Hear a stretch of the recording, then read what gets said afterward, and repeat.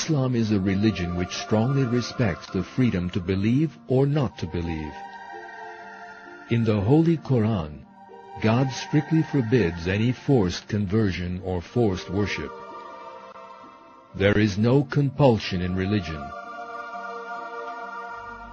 Thus, since the birth of Islam, true Muslims have always tolerated other religious communities, especially Jews and Christians. In the Holy Quran, they are referred to as the people of the book. The adherents of God's previous revelations, the Torah and the Gospels.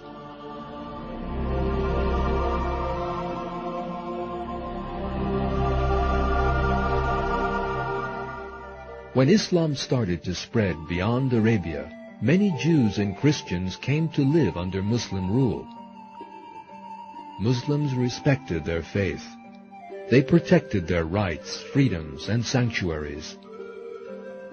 In the words of a Western historian, the old myth that the Arabs burst forth with the sword in one hand and the Koran in the other, offering the Mediterranean peoples either conversion or death, has long been discredited. In fact, the Arabs tolerated the religious practices of the Christians and Jews they conquered. When Jerusalem was conquered by the Caliph Omar, he visited the church of the Holy Sepulchre and kindly promised the patriarch that his shrine would be spared. Today, this church, along with many others, stands peacefully around the Islamic shrine, the Mosque of Omar. In Jerusalem under Islamic rule, Muslims, Jews, and Christians were all free to worship in mutual respect. Le croyant se dirige vers le centre du monde. Et c'est au sens géographique et spirituel du terme, dire le centre du monde, c'est dire la Kaaba à la Mecque. Et tous les musulmans, là où ils se trouvent, se tournent vers le même centre. Il faut préciser que le centre, qui est la Kaaba, euh, ne représente pas Dieu. Il est le point qui permet aux musulmans de se positionner dans le cosmos. Les gestes que nous accomplissons dans la prière d'adoration unissent notre corps, notre esprit et notre âme à l'instant où nous nous prosternons et où notre tête touche le sol en direction d'un centre unique. Existe-t-il un symbole d'unité plus puissant Alors qu'il réside à Médine, Mahomet a une révélation enjoignant à ceux qui sont en prière de se tourner vers la Kaaba de la Mecque.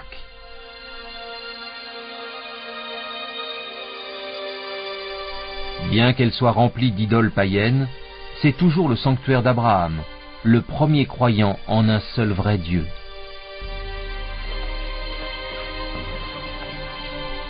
Mais alors même que les musulmans prient en direction de la Mecque, leurs ennemis se rassemblent en force. Leur but, éliminer les musulmans. En 630, la population terrifiée de la Mecque s'attend à être massacrée. L'armée de Mahomet est sur le chemin du retour, forte à présent de dix mille hommes.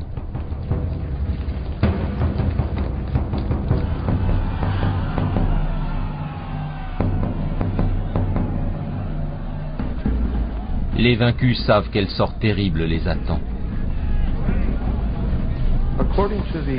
Selon les lois de la guerre tribale, les Mécois pouvaient s'attendre à de graves représailles.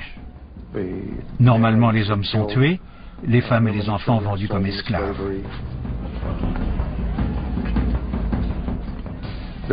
Il y a peu de pitié pour les perdants dans une guerre tribale. Bien sûr, c'est le cas dans le monde entier.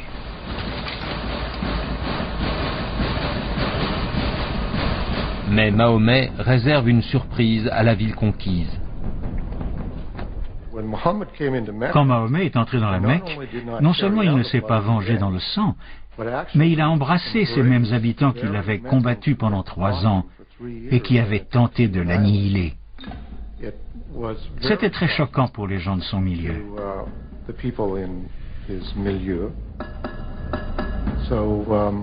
On trouve donc dans les fondations de la religion des épisodes d'une grande générosité, souvent des actes d'une gentillesse et d'une clémence extraordinaire.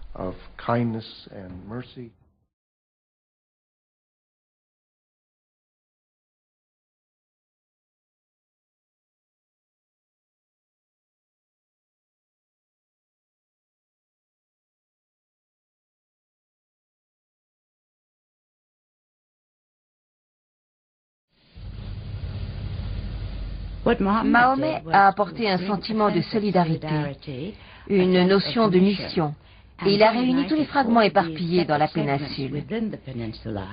Puis il a continué à l'est, à l'ouest, au nord et au sud.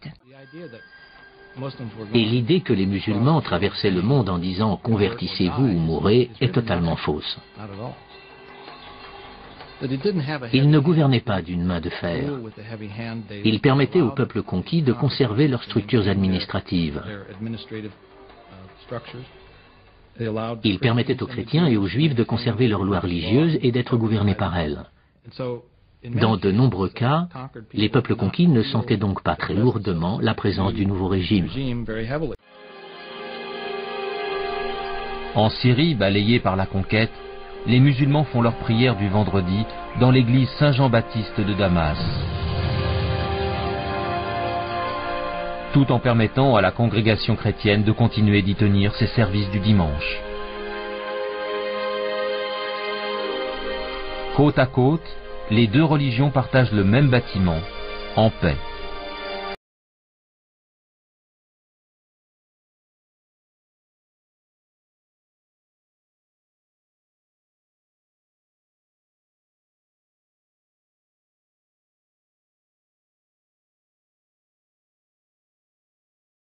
Avec l'islam arrivait un nouvel ordre, un nouveau mode de vie et un très beau mode de vie parce que tous étaient égaux, noirs, blancs, hommes, femmes, enfants.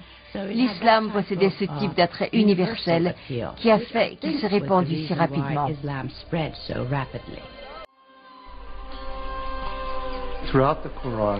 Tout le Coran donne le sentiment de l'humanité de Mahomet, de son humilité et du défi extraordinaire de la mission que lui a imposé sa révélation divine.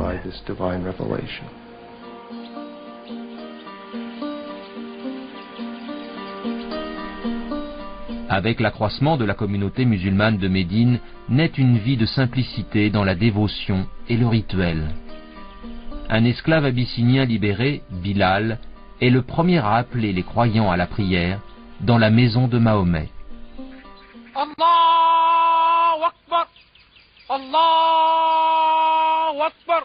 C'est la première mosquée.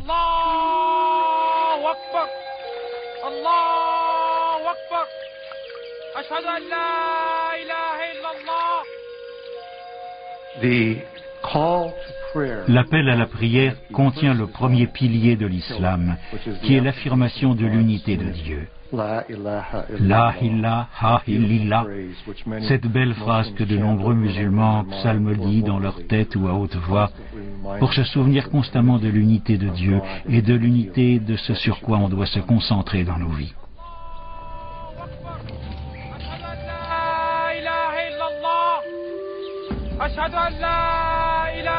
الله. أشهد أن محمدا رسول الله.